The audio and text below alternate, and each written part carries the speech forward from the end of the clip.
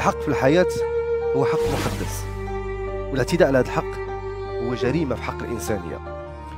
كل عام في بلادنا كيموت أكثر من 3000 شخص بسبب حوادث السير. وأغلب الضحايا من الراجلين وأصحاب الدراجات النارية. علاش كنقتلوا بعضياتنا في الطرقات؟ كانت فاجعة ما كانش حادثة سير؟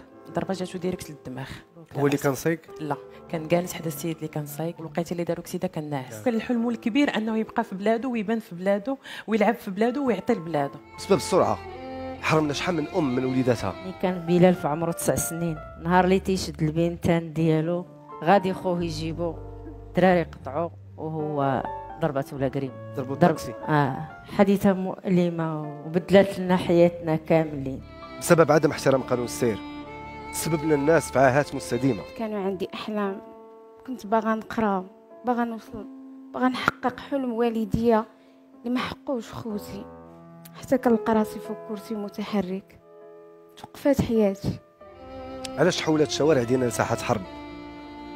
واش ما بقاش عندنا ضمير؟ أنا اللي عقلت هو الوقت اللي كنا كان كنتقلبوا فيه. أنا الوقت اللي كنت كانت الطوموبيل كتقلب.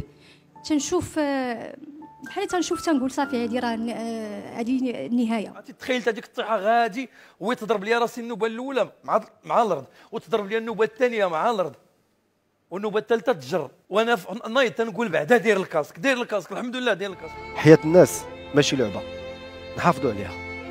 وحياتنا أمانة بين يدينا نتهلاو فيها.